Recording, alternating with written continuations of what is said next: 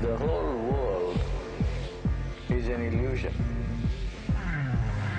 Whatever you see outside,